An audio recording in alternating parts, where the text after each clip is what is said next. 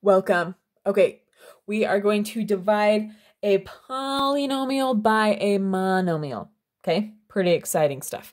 All right, I am going to be pretty detailed in this video. If you don't need as much detail, go ahead and check out a video I will link right over here um, where I go more quickly. I'll also link a playlist with lots of more dividing videos, polynomials by polynomial, oh, polynomials, if I can say it, and lots of other videos if you need to check those out for future assignments. Okay, I also want to point out you may have problems looking like this or you may have them looking like this where you have the divide sign, but typically it's much easier to work with it written like this, okay? So, but they mean the same thing. All right, let's go ahead and get this started. Okay, this looks scary, right? We've got so many letters, but it's not that bad, okay? Trust me. Okay, what we're going to do is we're going to break this up. What? Okay, so it's kind of a form of the distributive property, okay? So if you're like, what the heck is the distributive property? I'm switching videos. Don't do it. Stay with me. I'll explain. So basically, we're going to distribute this 2xy under each of these. Okay, let me show you what that means. So I'm going to write 12xy squared. Okay, I'm going to put that over 2xy. Okay, plus my 6xy over 2xy minus 10x squared y over 2xy. Okay, I just split them up, wrote that under each of them. If you're like, that is not allowed, what is she doing? Let me show you why this is okay. So, if I have one third plus one third, denominator stays the same. I add the top, I get two thirds, right? Well, would that be the same as if I had 1 plus 1 over 3? Yes, it would be the same. So I can split those up. This is why that is okay. It is not witchcraft, okay? So what do I do next?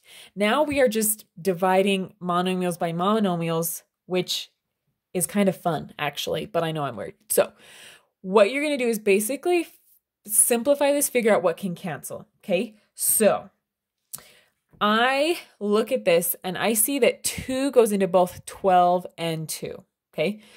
2 goes into 2 once and it goes into 12 six times, okay? You could also just think of this as 12 over 2 is 6, right? Okay, so the 12 over 2 simplified down to 6, okay? Now, x over x is just 1, right? So those go away. Then I've got y squared, which means y times y, over y. So one of these y's is going to cancel with one of those y's. Okay. If you're like, what is she doing? I've got a more detailed video on this. I will link over there. Okay. So what am I left with here? I'm left with a six and a y. Okay, everything else canceled. You might say, hey, there's a one there. There is, but if it's only a one, we usually don't write it because 6y is the same as 6y over 1. Okay, now, next one. Okay, 6 over 2, 2 goes into both of them.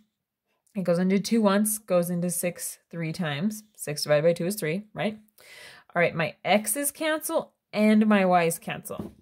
Okay, so I'm left with plus 3. Okay. Then let's look at this guy. I've got 10 over 2, which 2 goes into 2 once. It goes into 10 five times. Okay. Then one of these x's will cancel with one of those ones. So I'm just left with 1x instead of x squared. y over y cancels as well. So here I'm just left with, it's a minus, minus 5x. Oh my gosh, that's our answer. But your teacher might want you to write it like in a different order with like the variables in order and then the number on the back. Kind of depends on your teacher if they care about that or not. But there you go. Okay. All right. Not too bad, right? Not too bad. Let's look at this one.